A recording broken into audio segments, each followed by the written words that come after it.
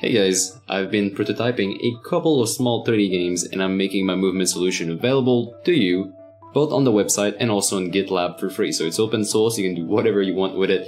It's a movement state machine. I've been working on that for a couple of years now, actually, on and off. And um, it's my go-to every time I want to create a 3D game.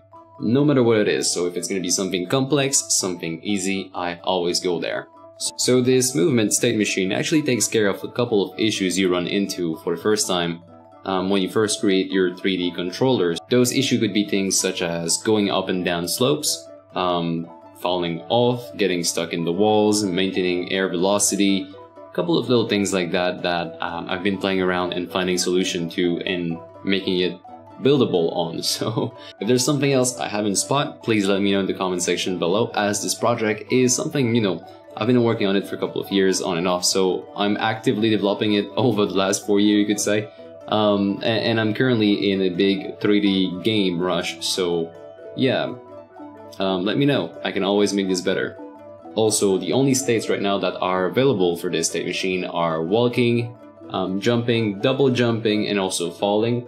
Of course, I'm planning on adding a little bit more as I go forward, so I want to add a, a bird one. I want to add a awesome bird controller, like a bird controller. So that's something I'm working on right now. I'm going to be putting that directly there in the source code. So it's going to be free on GitHub. It's also free on the website. It's going to be updated at both places. And the rest of the video will actually show you how to get the project. Um, there's two two ways to get it. As I said, GitLab, not GitHub, and also the website. If you download it on the website, you're going to be um, downloading a Unity package, which is a little bit different. For the Unity package, you will um, you will have to do something else. You will have to do extra step if you want to configure that in your game, but it's something you can add on top of a game you already have. Now the GitLab project is just a project itself. It comes with the project settings, with the input, with everything. So if you're starting out fresh, that would be the best option. So let's jump right into it. Okay, so the first option I'll be showing is the GitLab option. If you go on GitLab, you have the whole project. It comes in with all the input settings. It comes in with um, all the Cinemachine stuff and all the packages. And you'll find out that you have two scenes. One called Input Manager Test, where you can test out the inputs if they work or not. Um, you have two axes. So for me, W, A, S, D, and also the arrow keys. Those are my two axes. Just like if you were playing on a um, any type of controller. So I usually use a Xbox One controller. I unfortunately don't have that with me here in India. Um, and you also have a couple of different inputs for other button, action buttons basically. Um, they're mapped to the same thing as what you have in Overwatch, so Shift, E, and I forgot the rest. but um, if you want to know what these are, you can always head over to Project Settings and go under Input, Axes, and here you'll find all of them. So starting here, those are all specific to this. So primary fire, secondary fire, that's left mouse, right mouse. Ability 1 is left shift, E, and Q. Okay, simple enough. So I've mapped those to the Overwatch control at first, and then you have the motor test, in which um, this is where you come, this is where you play around with what you want. Right now there's already a controller in the scene. Let's see which one is it exactly. I'm going to pull down my arrow key and it's the first person controller and the camera inside of it is a first person camera as well. So if you play this, you'll be able to move around in um, 3D space with all the normal states and that's the first person camera as well attached to it. Now if you want to try another one, you can always head over to the scripts, pre-made, and you'll find different controllers. So there's also a third person controller. So if I go say back in my project, which is my key actually, which keeps closing. That's annoying.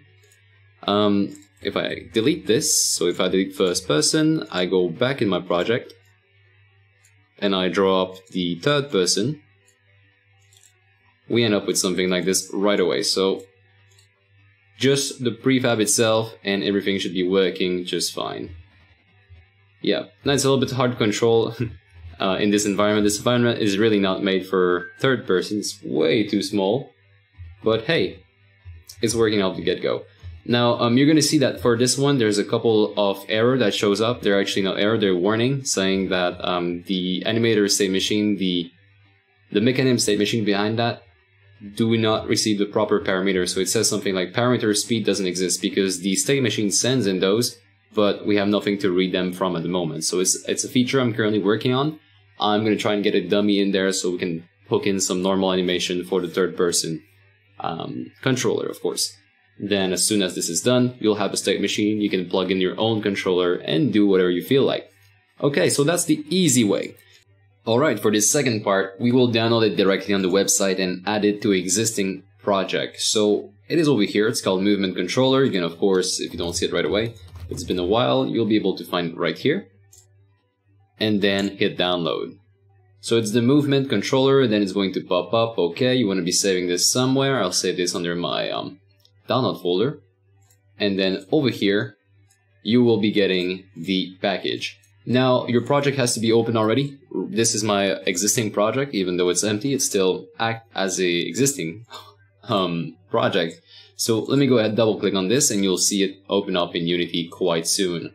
Now I want to be imported in pretty much everything. Nothing in there is um, too much, maybe except the artwork right now. If you have your own gem, you can tick that off and then of course import.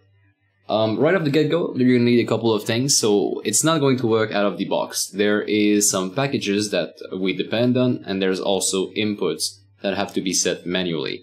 So if I am to open up, let's say, the motor test, now this whole gym was made using ProBuilder. If you want to have this gym, of course, you can um, add ProBuilder to your project. I recommend that you don't, however, if you don't plan on using it after that, you can just go off and create your own game um, without having the Arena in there. So you could go ahead and just create yourself a plane and say this would be it, right? This would be your game.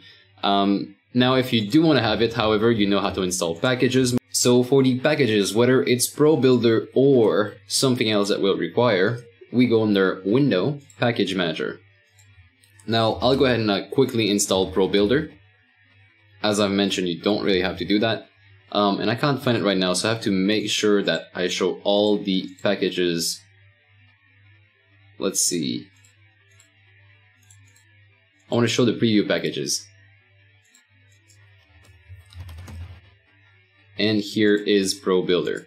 And with ProBuilder installed, we are now going to get this result, so that's pretty cool. Now the other dependency we had is Cinemachine. I'm using Cinemachine for my camera because it's so it's so efficient actually, it's so easy to use. Um, and you can make changes to it very very fast. So go ahead and install that. And now with Cinemachine installed, there is one thing left to do and those are the inputs. I'm still not migrated to the new input system, therefore I'm using my own inputs and I invite you to either get rid of those or of course uh, configure them, which is going to take a second. So you're going to see down here that we have all these axes. You can also open up the input manager, you'll be able to see it. So input manager, oh sorry, here in the project. And um, you can have a good look at exactly what kind of input we will require because there's a couple of uh, different axes that you'll need to input. So here they are. Left horizontal joystick, left vertical joystick, right, right, left, left, right, right. Ability 1, 2, 3, primary fire, secondary fire, and finally jump. Um, those are all things that you'll have to set manually in the over here, edit, project settings, and input. So you create one with the exact same name. You go ahead and extend that to say I think it was 26, I'm not sure. And you'll have more here you can edit. Just change the name for whatever you see on here and input the proper thing, whatever you want this to be. Now do note that I'm actually merging this over to the, to the um, new input system, so maybe by then, by the time you watch this video, it might have already been imported to the new input system and it's going to be much easier for you to configure. So I'll actually let everybody know when I do that. And right now, because I'm too lazy to do all the inputs, what I will go ahead and do is head over to GitLab, and on my GitLab, I'll find the same project. So I know you guys don't want to download it directly from GitLab, but you can head over here and um, head over to the project settings. And I'm actually just going to grab my input manager. So it should be down here. Here, so input manager.asset. So I'll go ahead and I'll grab this one. There should be a download button somewhere. Or if there is not, here's what I'll do. I'll just go ahead and grab, oh, there it is, downloads. So I'll download that. And what I will be doing is open this project up,